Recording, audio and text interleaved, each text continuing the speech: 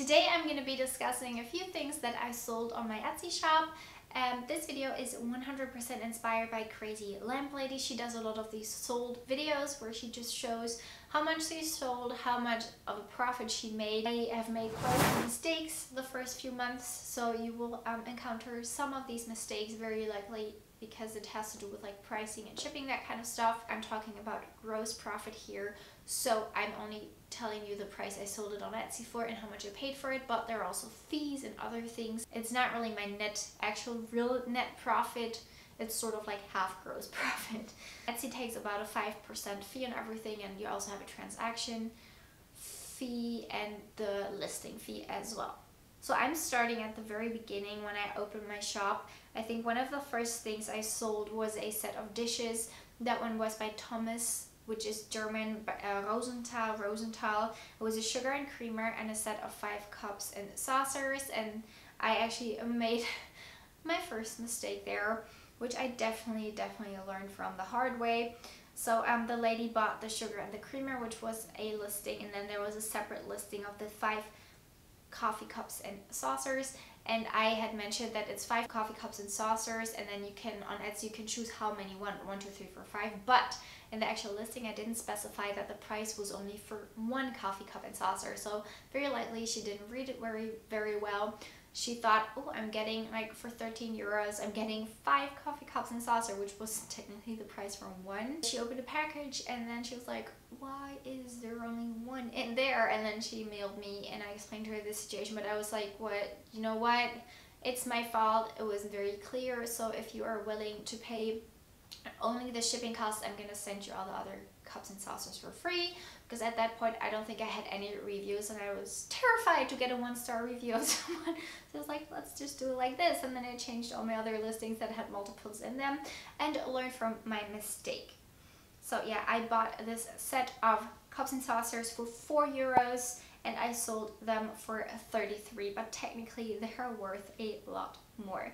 The second item I sold is a very little fat lava vase and that one was by Okra pottery and I got that one at I think a small thrift store in uh, Bremen in Germany for like 2 euros maybe 3 and I ended up selling it for 30 euros. Then the next item I sold was a mug and that was a mug that I thrifted in the Netherlands. It was this really nice stoneware ceramic mug, kind of like this speckled pottery and had this very kind of sage green color. Very interesting. I sold that for 15 euros and I actually um, got that for like 65 cents at a thrift store. So that was really nice. I would have kept it if I already didn't have so many mugs. And I think that that one actually went to either like just an Instagram follower, but maybe also a um, someone who watches my videos because she also tagged me on Instagram and all. So that was very nice of her. The next item is a mouth blown glass vase. That one is a Murano style vase that I got at an estate sale that I paid around 2 euros for and I sold that for 22. It had like a little bit of discoloration, that's why I was only asking 22 for it.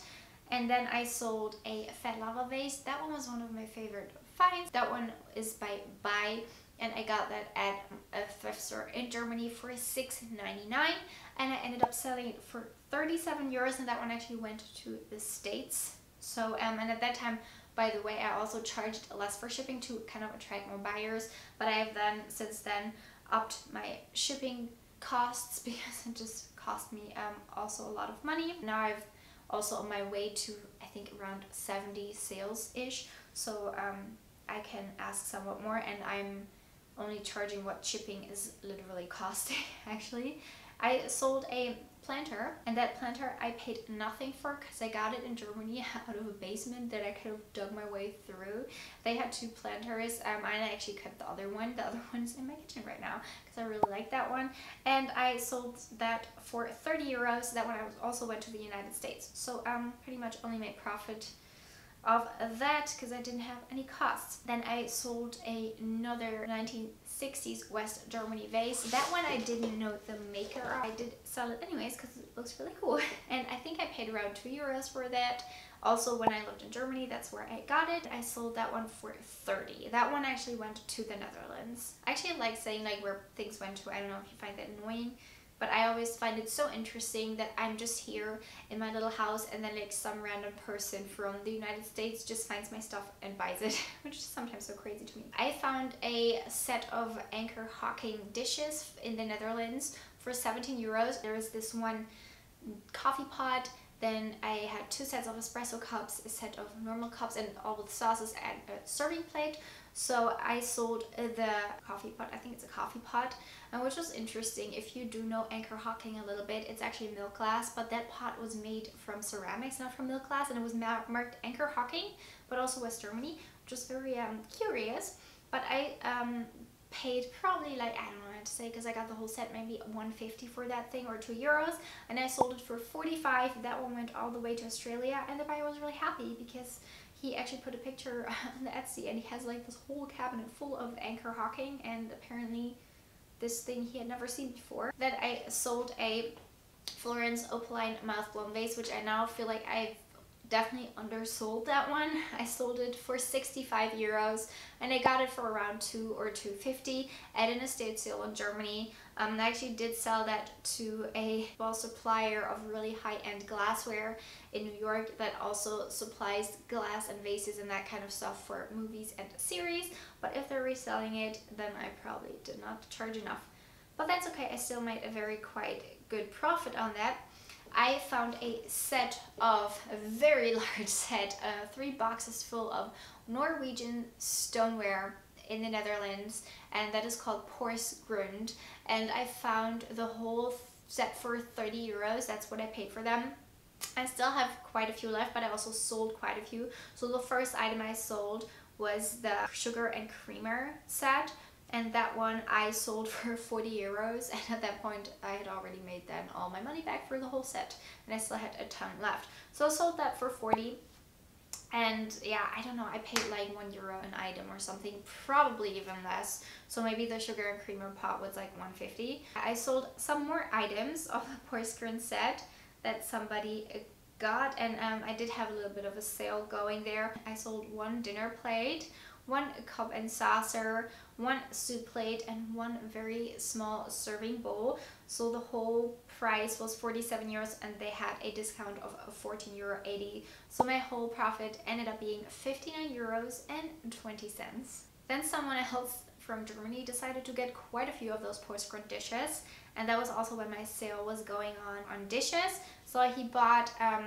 a set of eight egg cups, and then one of those kind of big serving pots and then he bought the two other serving bowls. I still had that were quite large. And he ended up paying 224 euros for the whole set.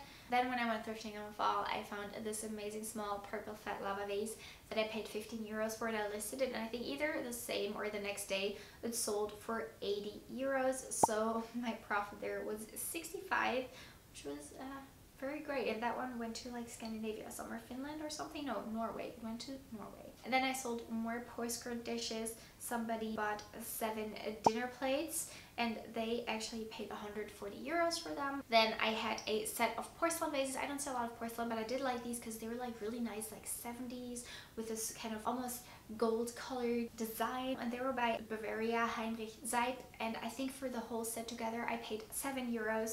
And I did end up selling them for 70 so my profit here was 63 euros. And they went to America. I found a, a little vase for 1 euro. And that one was a West Germany piece by Marschner Kunsttöpferei, which was a smaller but well-known company back in the day. That one's from the 1960s and I love that one. That one I paid a euro for it, sold it for 25 so profit 24 euros and that one went to the United States. Then I sold this little like Murano vase and I feel like I probably could have asked more for it. I'm still kind of unsure when it comes to art glass. Sometimes I'm more confident when it comes to West Germany ceramics.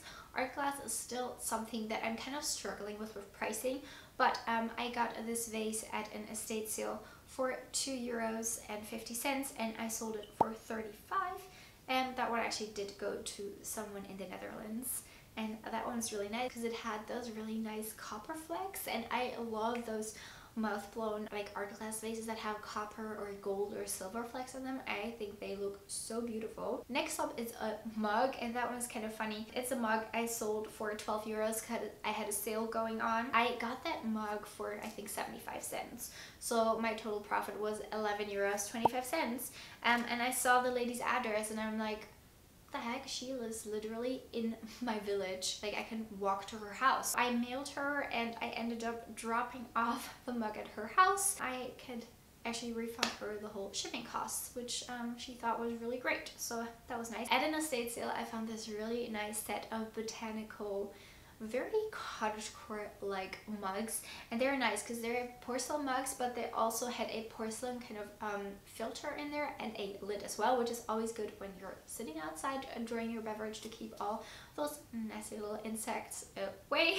I think I paid around maybe 4 euros maybe for the whole set or maybe three of those mugs and I sold them for 28 because I did have a sale going on to the United States. On a thrift trip here in the Netherlands, I found a set of Holland Zaalberg dishes. Well, I, well, dishes, I found a teapot and I found a matching quite large mug and I love Zaalberg. They have really, really well-made things and the inside a lot of times is glazed and speckled and the outside has this kind of rough texture. I think that their items are so nice. That one was bought by a lady in uh, Estonia and um, the original price was 65 euros but I had a sale so she paid 52 for both items together. I got these for I think like a euro a piece so my total profit was around 50 which was um, also really good. Then I also got a set of East German espresso cups and sometimes I have those items where I'm thinking like am I ever gonna sell those? Maybe that's just so hit or miss. I'm never gonna sell those. And those are a lot of times the items that I, for some reason, sell, which sometimes I do not understand. But I, I paid like, I think two euros or something like that for the whole set made in East Germany, but I did thrift them here in the Netherlands. I asked my mom actually, did you even have espresso back then in East Germany? Because my parents are East German, and she's like, yeah, the rich people probably did. So yeah, that's communism for you. I originally asked 24 euros for them, but I still had my, my dishes sale going on at that time. And with a discount, I got 19 euro 20 cents for them. And they went, I didn't remember if I said that, but they actually went to the United States as well lots of American people buy my stuff, which I think is really cool. So then I have an item which is definitely an item I definitely learned from a very big mistake. I bought this set of Dutch ceramics Gouda pottery and I sold the large ginger jar. And that one sold for 65 euros. And the lady also paid shipping at all. So with shipping and everything she paid like uh, a little more than 100 euros. And I sent that one off with the track and trace and I sent it off at the beginning of November and that package is still lost. It's gone. And um, they're still looking for it but if they don't find it in a couple weeks all that package is completely gone. And usually I say I don't refund people because it's like at your own choice. You didn't do insured shipping but it's kind of hard if you're a starting seller because there is a high chance they give you like a one star review and that just sucks. I learned that from now on I'll just uh, always do insured shipping. So everything I sold since then, even though the people didn't always pay for it, I just added my two euros more and I'm like, just have it insured because in case it gets lost or broken, I'm covered. Speaking of insured uh, shipping mistakes, um, here we go with the next one. So I sold a planter, a West Germany planter by Marei. That one I got, I think, for free. Yes, that one I got for free, so I paid zero for it. I sold it for 25 to somebody in the UK, and the UK Postal Service was probably like, let's just play catch-all with that thing. Because when it arrived, it was broken. As I said, I usually don't refund when people don't put it, like, purchase the insured shipping. But I felt so bad for the guy because he was like, yeah, it was actually a present for my wife out for Christmas and I just wanted to took it out of the box to wrap it and it's just broken. And I was like you know what? I'll just refund you the money. And um, that hurt. So I refunded him everything. So that one I made zero on and probably lost a little bit of money. So that kind of sucked. But that as I said was definitely a lesson I learned. If you like this video, make sure to check out these ones here on this side because I post a video about thrifting and secondhand finds every single week thank you for watching. If you're not subscribed, make sure you do so you won't miss any of my other videos. I'll see you in my next one. Have a great day. Bye!